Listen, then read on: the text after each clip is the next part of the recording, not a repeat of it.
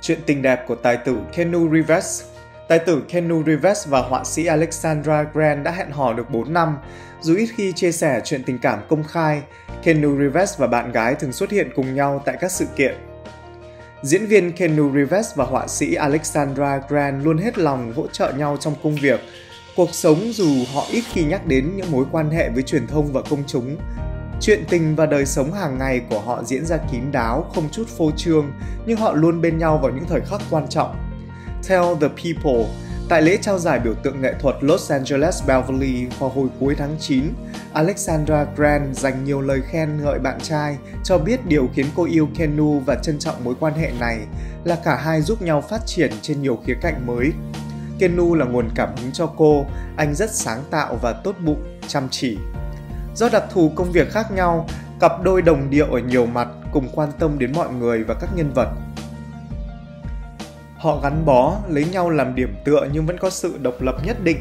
Mỗi người làm việc vui vẻ và hạnh phúc hơn. Nữ họa sĩ tiết lộ hâm mộ ban nhạc rock Dogstar của Kenu Reeves, nhóm gây tiếng vang ở California thập niên những năm 1990, tan rã năm 2002 nhưng tái hợp biểu diễn hồi tháng 5.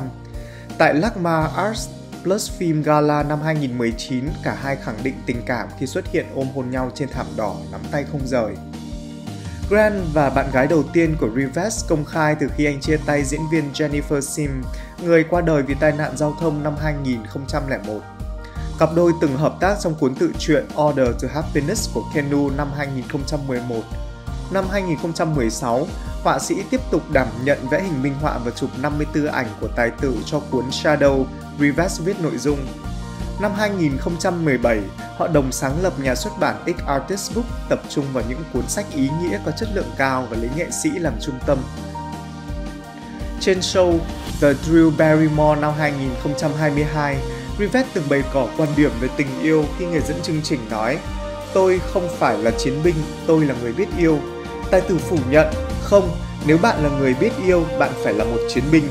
Nếu bạn không đấu tranh cho tình yêu của mình, bạn còn có thể có mối quan hệ gì?